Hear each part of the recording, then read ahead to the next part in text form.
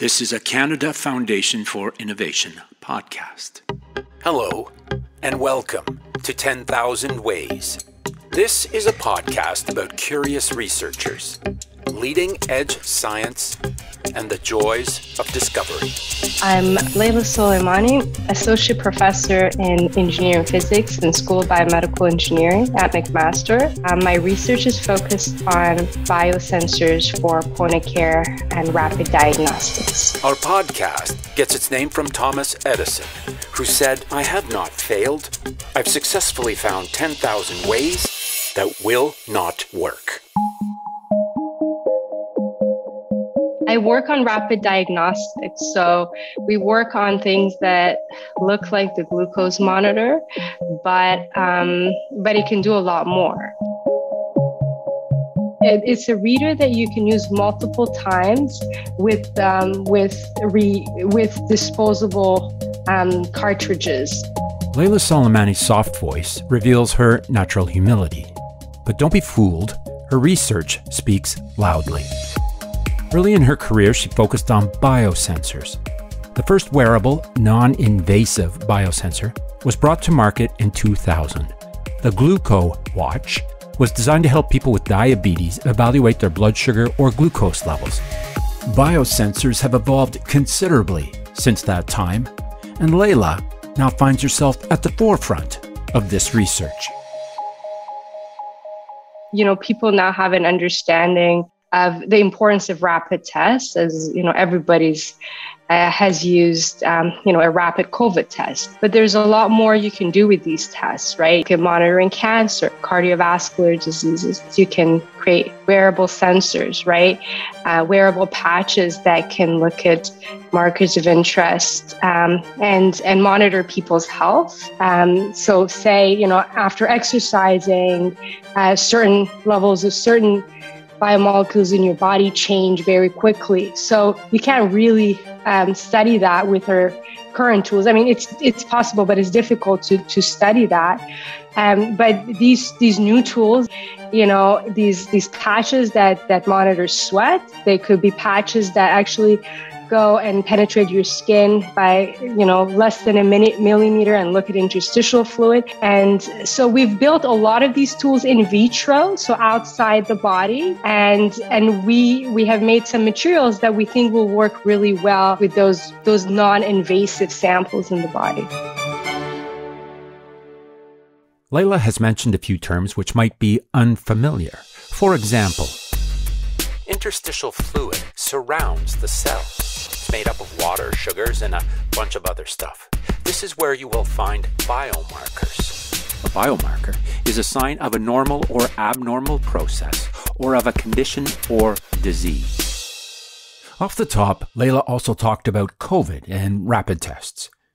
Currently, she's trying to develop a new type of bacteria identifying rapid test for urinary tract infections.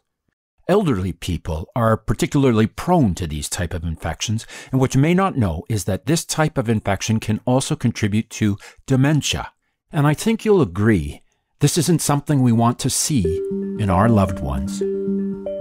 So if you want to uh, detect urinary tract infection, normally you have to wait, you know, hours for the results to come back because you have to grow the bacteria. But our rapid tests allow us to do this um, in minutes. Uh, we're using things that look like the glucose sensor, so they're electrical. We use chips, um, and these are, you know, computer chips, but for, for biological applications, let's say. Um, so we use these chips to do our measurements. So all the signals that I talked about, whether it's a uh, a sensor that's outside the body, it interfaces with the body. It's a credit card size reader. Leyla's love for everything engineered and minuscule and nano was not attributable to a single flick of the inspirational switch at a Take Your Kids to Work day or one unique and influential high school mentor.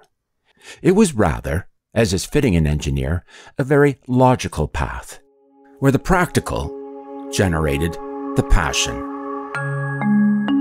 I think it came for me the, in the opposite order. I first became an engineer, then I noticed that I liked it um, because I think everybody I know was was an engineer around me. Um, so I decided to to be an engineering uh, for that reason, but also because I, I was good at math and, and physics, and it seemed like a natural fit. If you like, you know, math and physics, then then you go to you know mechanical or electrical engineering, and then once I I you know I I did my bachelor's degree, I realized that um, I really like the possibilities that that is in front of me. I guess I was the first female uh, professor in my department, uh, and until very recently, engineering was and has been a male-dominated profession. Uh, but I think there's also opportunities and uh, now um, uh, to to to change that perception and to communicate the message that engineering is for everyone. Behind every researcher success story, there's usually a mentor. It's not difficult to tell why Leyla selected her particular PhD mentor. This mentor works out of the University of Toronto. She's been recognized as one of Canada's top 40 under 40. She's also been recognized as a top 100 innovator by the Massachusetts Institute of Technology Review, and she is the holder of a modest 50 patents. I, have had great mentors. I, I'll talk about one, also a female mentor, Professor Shana Kelley, that that really helped me reach my my my goals during my my PhD, and and it was um, it was really inspiring because you know she she also had she had a great career. She did it all. She you know she she was a professor. She was a great researcher. She still is.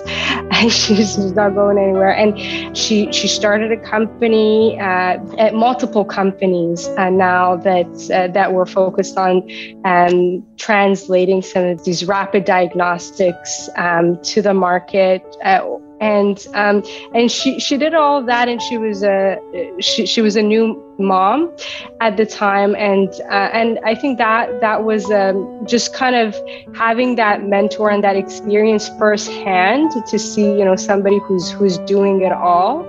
Um, even though it sounds cliche but but it, it really helps me every day to try to do something impactful um, you know and and try to to also have um, uh, you know uh, have have a family life as well. While Leyla remarks that Shana seems to be doing it all, Leyla isn't exactly sitting around at the lab bench and waiting for eureka moments.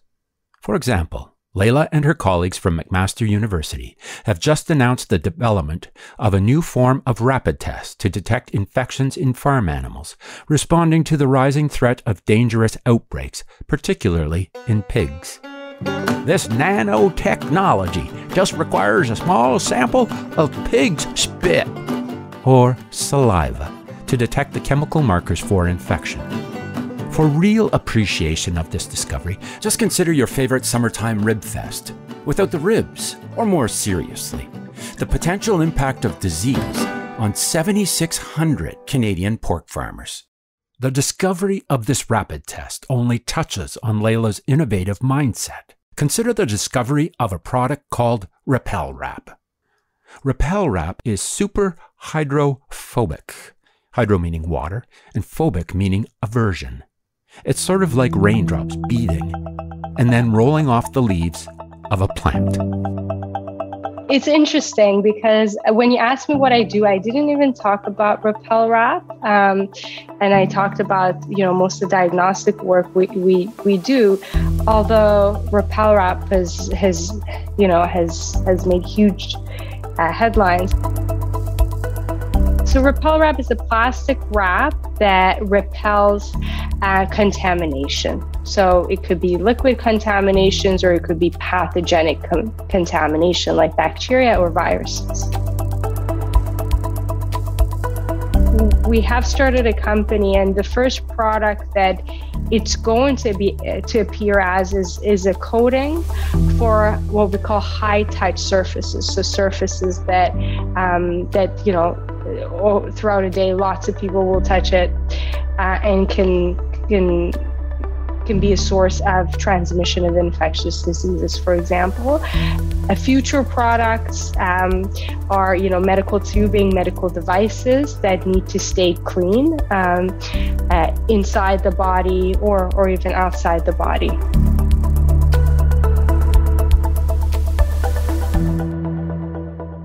One of the problems seen in earlier iterations of biosensors was that while they captured the molecules they were targeting, they also captured non targeted proteins.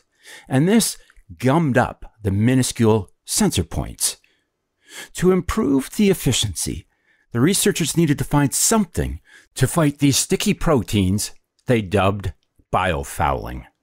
Their solution, Repel Wrap, was the result of a collective effort. Leyla worked with researchers like Tohid Didar, who has been a trusted collaborator for many, many years. Ted Sargent, a nanotech prof out of the University of Toronto, has provided consistent encouragement and motivation. But equally important to Leyla are the ongoing contributions made by her McMaster student proteges, who consistently provide equal parts perspiration and inspiration a lot of it has to do for me working with with talented students. You know they they come up with you know remarkable ideas and um, and the nice thing about this job is that we can actually do it and we don't have to really worry about um, whether this fits um, go outside the box. We don't it doesn't have to totally makes sense in the beginning right? We we can explore things we can experiment with things we can discover things uh, without knowing exactly where this is fitting right? It doesn't have to be in a company product line you know from the from the beginning. We we have the ability to explore and be creative and and kind of uh, follow um, follow our our um, our curiosities and to to really focus on the creative aspect of engineering more so than than kind of the perception that is you know that is um, a lot of uh, you know a lot of the perception that goes with like building and and uh, and assembling things it's it's the way more the more i see it it's, it's as a design and and designing things and creating things. So um, every scientist um, to really make make it make a change um, has to to think outside the box at some point and say okay we want to go from pay, point A to B, we want to achieve this. This is the way that everybody else is doing it. But, you know, we really need a breakthrough in order to do that faster, do that, you know, cheaper, do that, you know, improve stability, all of those things, you know, you need to to just sometimes break out of how everybody else does it and just find a new creative way.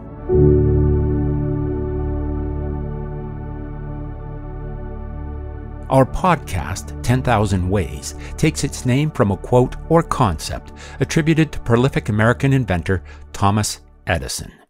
He may have been talking about light bulbs or maybe batteries. While the exact area of research may be open to speculation, what is not open to discussion are his continued efforts to persevere and experiment long after the time when others may have considered their efforts a failure in the scientific community, you get a lot of rejection. You you wake up with a rejection letter in your inbox every day from a journal, from a grant, from an award. If you look in the shorter term when in at, at your career, you have these these periods of failure and success, and then failure and then success. So I, I try to remember that that these things are cyclical, right? Like you just kind of have to push through this cycle of failure to get through what's called success. But I think when you look over a longer year, a longer a term, right, a, a decade or so, looking back, those you know, on average, you feel like the, the average of that failure success is not zero, right? It's the average is is above zero. You you you are making important contributions and and in overall you you're successful. But I, I think it's hard to deal with those periods of failure and um, and I've had a lot of great mentors that you know I've I've talked to and said you know I, I just cannot get this thing to work. I just cannot get this research to to to fund. I cannot get this funded. And you know they've always been um, just there to remind me of of their own kind of that periods of, of failure. And and it's always remind me that that you know these people are my my inspiration my mentors. If if they've gone through these and you know they're overall so successful then you know you, you just kind of have to get through this. At some point in time we may ask ourselves how do i want to be remembered? What do i want to leave behind these can be challenging questions, but they are questions with a limitless number of very personal possibilities. One of Leyla's wishes starts with peer recognition. As scientists, and I can tell you, you know, we, we write a lot of papers, and that's great. Um, we we want to publish, and we want to publish great papers, and we want people to read them, and we do that. Uh, but I think one thing that I I really want to happen uh, before, you know, a legacy is for me to be able to point to something, a product. It's a reality. You can point to it and say, oh, you know, I, I worked that, I developed that. It's a product that everybody knows right now, right? So I'm hoping that that there there there, there would be, you know, a commercial product that I could say, okay, this is something I developed when RepelWrap was first published and generated news, um, I, I, never had this where people from so many different sectors were writing to me and wanting to buy this, right? I mean, we were at a proof of concept stage, and people were, you know, they they wanted from the hospitality sectors, from transportation, farmers. Um, you name it, hospitals, they were, they were messaging me and said, you know, we want to buy this thing. How do we get our hands on this? And so that's where I knew that, you know, there's, there's something there that that that people want and and you know maybe this is it maybe this is that product that i i i would want um, uh, to to kind of leave behind as a legacy Many years ago, there was a group of authors who called themselves the Inklings. Perhaps you've heard of some of them J.R.R. Tolkien, or maybe C.S. Lewis. What made this group unique was that they would gather once a week, read some of their new works, and then open themselves up to a group review. It turns out Lord of the Rings was not a singular effort created by one introvert in isolation. It was a group effort, a sum effort greater than an individual part.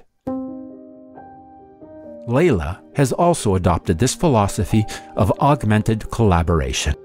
I think it's something that's not necessarily come coming easy to me, but it's something that I've learned um, to do over the past few years, and and that's that's to collaborate effectively with with other scientists. I think it took me a while to learn that to to find people that that we can work together um, you know uh, creatively. We have complementary expertise and you know when we get together one plus one becomes more than two right? It, you know just the sum of our efforts is, is more than the actual sum. So i think that's something that i've um, that, that I've learned. And I think to surround myself with you know great collaborators to to learn to to gain their respect to respect them and and for us to work on on things that we we think it's fun to do but it's also really important uh, and i think that's that's helped me a lot over the past few years to to to to do you know great research and and and try to to to be um, to stand out I guess. Success. What does success mean for you? Here's what would work for Leyla. it's been hard for me to to think um, how do I define my own success versus other people defining my success.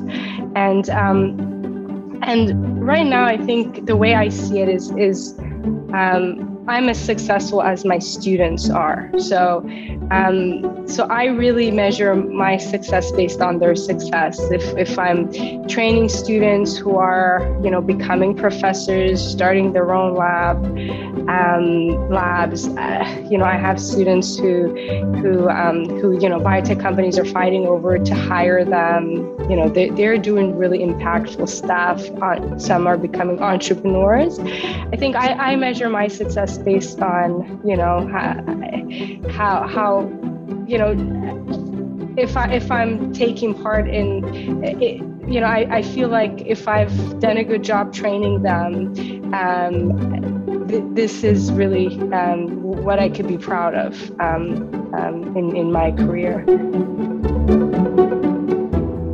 Leyla's contribution to training young researchers is not all she has to be proud of. The discoveries she's made and products she's helped develop will have a legacy of their own. In 2020, Repel Wrap beat out more than 700 entries from over 60 countries to win the Create the Future Design contest, sponsored by Tech Briefs magazine. Repel Wrap has been dubbed pathogenic Teflon its surface texture mimics, to a great extent, that of the lotus leaf, but it is more than just super hydrophobic, it is almost everything phobic. Add some ripples to the wrap, along with a little chemistry on top, and the end result is that almost nothing sticks. What does stick is the importance of collaboration. J.R.R. Tolkien, C.S. Lewis, and 17 of their peers gathered weekly for decades to help create literary works that were greater than the sum of the parts. Leyla and her collaborators also gather, and the ideas they generate, from keeping pigs healthy to pathogenic Teflon, will continue to make an impact. In closing, Joseph Henry was an American physicist. In one simple quote, he summarizes the power of persistence, collaboration, and opportunities found in chance occurrence. This is what he said The seeds of great discovery are constantly floating around, but they only take root in the minds of those well prepared to receive them.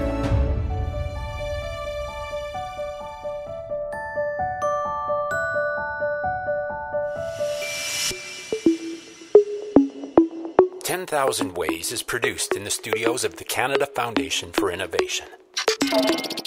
The CFI is a non-profit corporation that invests in research infrastructure at Canadian universities, colleges, research hospitals, and non-profit research institutions.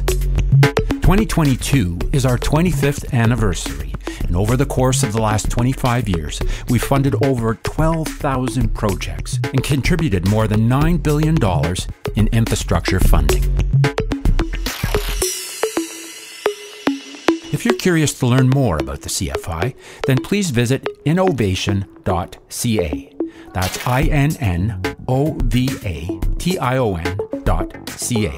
My name is Greg Pillsworth. We'll let the music play out, and thanks very much for listening. Bye bye.